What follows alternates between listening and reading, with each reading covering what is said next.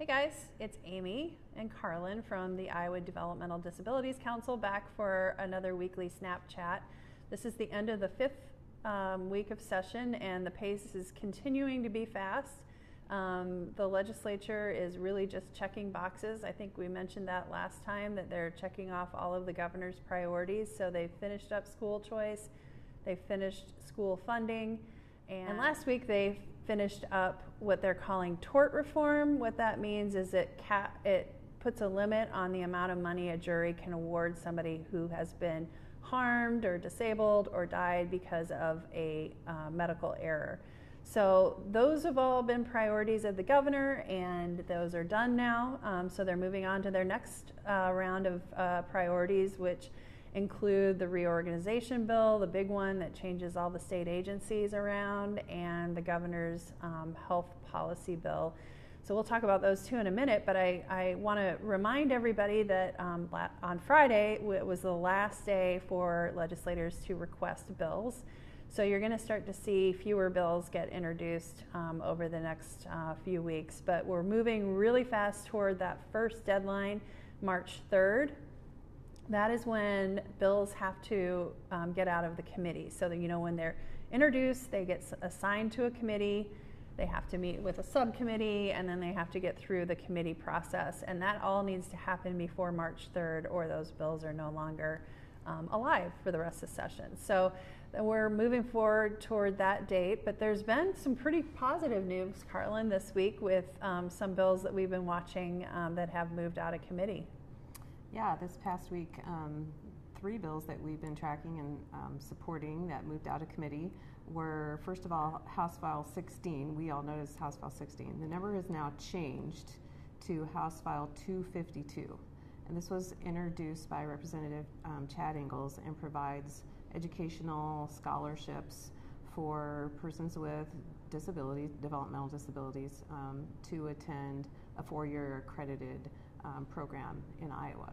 So it's a great um, bill. It passed last year, but didn't go, get all the way um, past the House, but didn't get um, all the way to um, the Senate or the governor. So it's come out of committee. We'll go to the um, House floor for debate.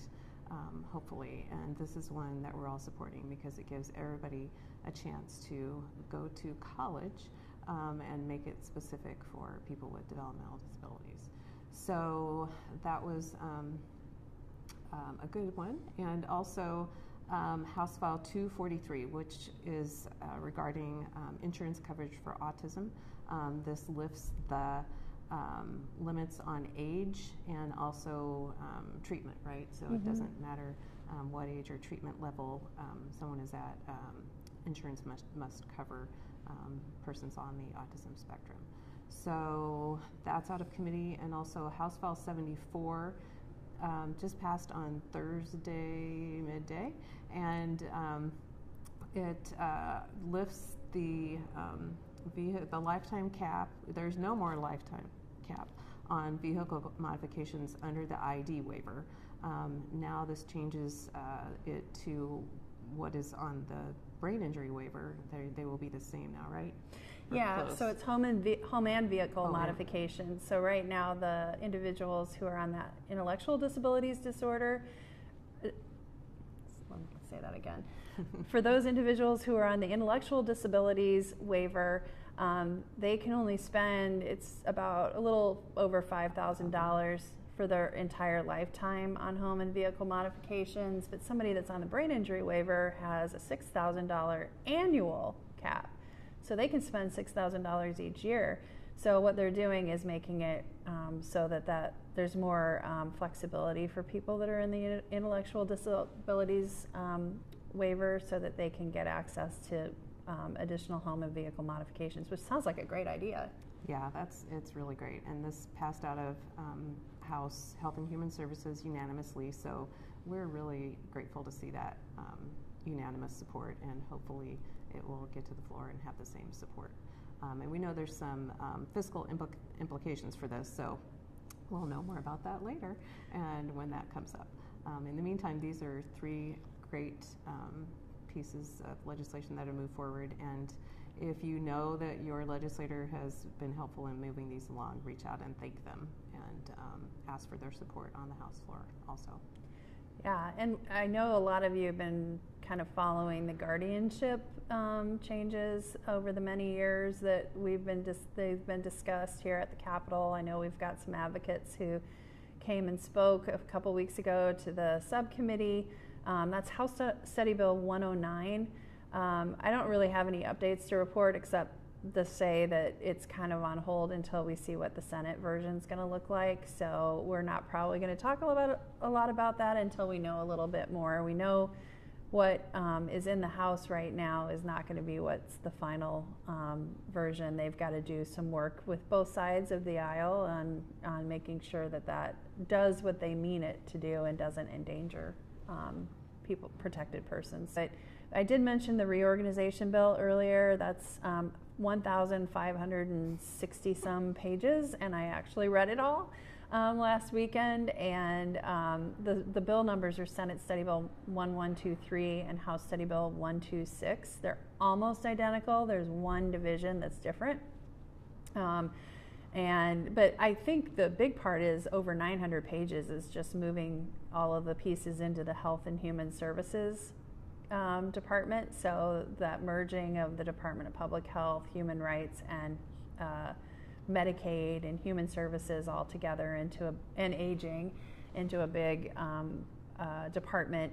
Um, that's most of the bill, um, and there really isn't a lot controversial. There's a lot of really good changes that um, change language to person first language. Um, there was a lot of places where the co- the laws still talked about autistic persons, so they're changing that to, for instance, to be individuals with autism. Um, they're doing some updated terms, so you're not saying insane. You're using proper terms. Um, and so that's that's all good. Um, we know one piece that's going to be a little controversial is uh, moving vocational rehabilitation that's currently in education over to workforce development. So I know that there will be conversations, but they have they've not had a meeting on that yet. They had their first subcommittee meeting in the Senate, and it was on some of the other areas. Um, they didn't talk about education or health and human services and some of the things that we've been watching. So we'll probably report on that next week if they have some some meetings there. Yeah, and I think we're you know watching it too to um, you know, make sure the state is addressing the needs of people with disabilities, and that, in you know, so far is in a bunch of different offices. Um, so it may, you know, have good uh, implications for how we all work to get work together better um, at the state level. Um, but you never know. So there's always the devil's in the details. And thank you, Amy, for reading all those details and giving us the bullet points so that I didn't have to read it all. It put me to sleep after like five pages, so I really appreciate you reading it. Um, and that's why we have Amy, so all of you don't have to read 1,500 pages of a bill, you know, written in legal lingo. So yeah, no fun. Um, what else? Anything else we're monitoring? I think that's about it for this week. We are monitoring more, and we'll talk more next week, um, especially about um, the report that's come out um, with recommendations for Medicaid waivers. We're going to go into some detail on that next week. But we do want to wrap up um, today with our shout out, and it goes to Roxanne Coggle, who is actually on the DD Council. And if you don't know, the DD Council members are all appointed by the governor. And she actually um, is a parent advocate, and she also works for the Epilepsy Foundation. Um, and as a volunteer, she works for the Autism Society of Iowa um, because of her uh, work as a parent advocate. And the reason we're giving Roxanne a shout out is because she is very helpful to the council and to us in keeping an eye on legislation and what legislators are saying about issues um, such as epilepsy and autism, and is another eye, feet on the ground, person on the phone that we can count on um, to help us know as a council and as people who are talking to our legislators um, what parents are saying and what um, uh, organ- other organizations that are our partners, what their needs are and what um, their concerns are. So she's been a great inf- information um, gatherer for us and um, is a, uh, a great member for the council. So we all should be proud of her. So great job and thank you, Roxanne, for all that you do. And with that, are we wrapping up I think that's a good wrap. But- reach out to your legislators if they're doing good things and tell them how much you appreciate them. Thank all you all. Thanks. Bye.